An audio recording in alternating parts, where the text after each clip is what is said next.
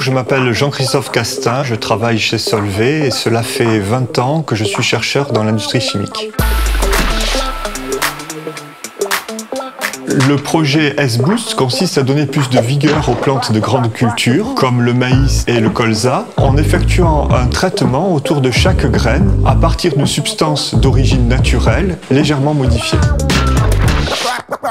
Donc il y a une double problématique. Il s'agit d'une part de rendre l'agriculture plus respectueuse de l'environnement et d'autre part de diminuer les aléas que rencontrent les agriculteurs à chaque saison agricole pour leur assurer un revenu qui soit stable. Le projet a démarré au tout début il y a 10 ans. À l'heure actuelle, il y a 3 à 4 personnes qui travaillent en Europe, plus quelques personnes aux États-Unis et au Brésil.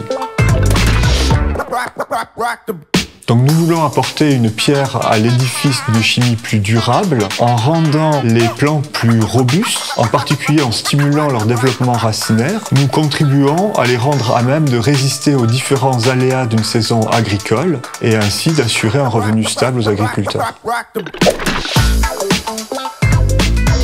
Il s'agit d'une part de faire l'extraction d'une molécule d'une plante, mais aussi de la modifier chimiquement pour la rendre plus efficace et qu'elle puisse être utilisée à une faible dose pour limiter son impact sur l'environnement.